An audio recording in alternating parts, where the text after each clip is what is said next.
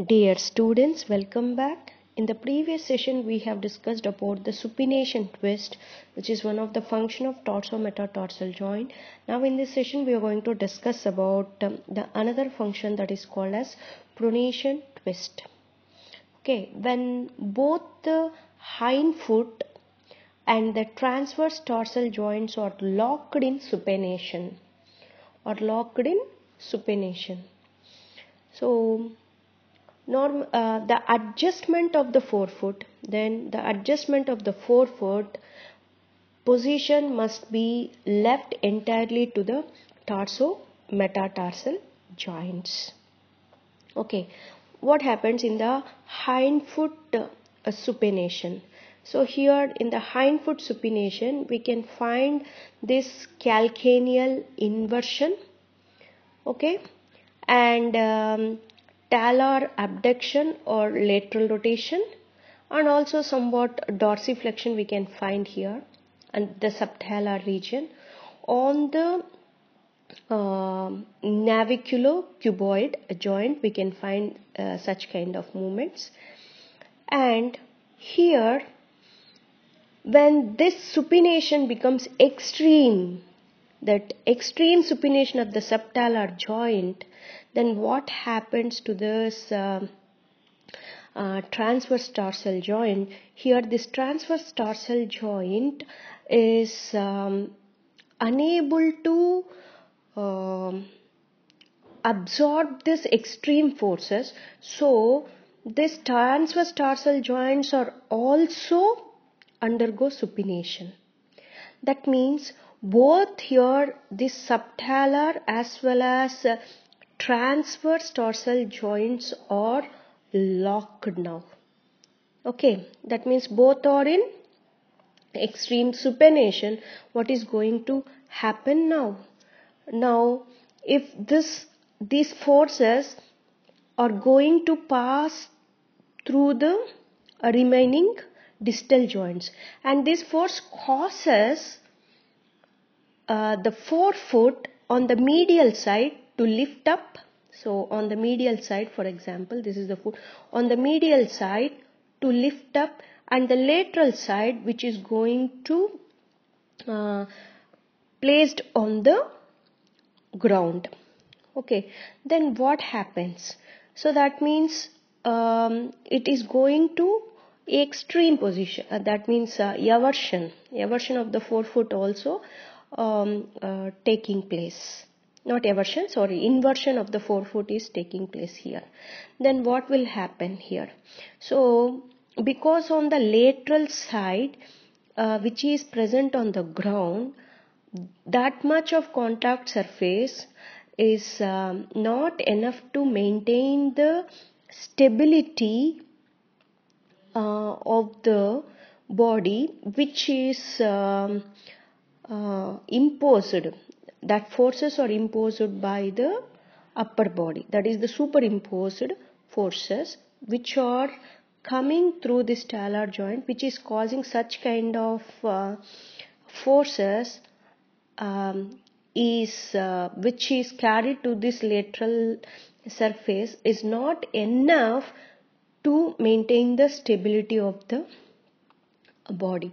So then what happens so there, there should be a compensatory movement should takes place at the tarso metatarsal joint. Why? Because here the transverse tarsal joint is unable to compensate the forces. So the next work is going to taking place by this tarso metatarsal joints. Then what happens now here? The first and second ray. The muscles controlling the first and second ray will cause plantar flex. So the medial side is lifted up isn't it? So because of the muscles which are crossing um, this first and second ray causes plantar flex. So what happened? The first two um, metatarsals are going to plantar flex which helps in the contact of the foot on the medial side. By the ground reaction force on the lateral side which causes dorsiflexion. Which causes dorsiflexion. Because eversion accompanies both plantar flexion of the first and second rays and dorsiflexion of the fourth and fifth rays the forefoot as as a whole undergoes pronation twist. See, such process is called as pronation twist. Now we can see in this example. So pronation twist like supination twist can vary in um, some configuration. Although the pronation twist may provide adequate counter rotation for uh, moderate hindfoot supination. Okay it may be inadequate to maintain forefoot stability in extreme supination. Okay, subtalar supination results in calcaneal inversion.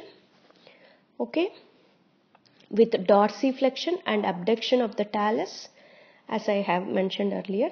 The transverse tarsal joint will have um, little if any ability to pronate in as much as the navicular and cuboid bones are carried along with the hindfoot motion. So the first and second rays will plantar flex and evert whereas the fourth and fifth rays will dorsiflex and evert. These motions result in a pronation twist of the tarso metatarsal joints to attempt to adjust the forefoot adequately. So this is happening in the pronation twist.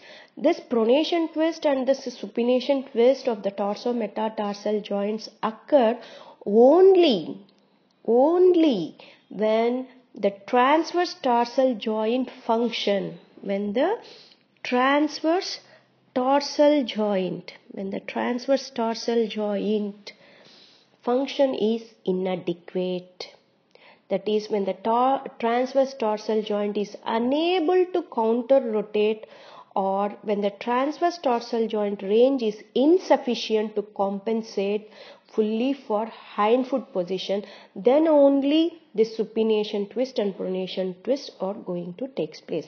Remaining time these twists are not common. Okay. So this is about the tarso metatarsal joint function.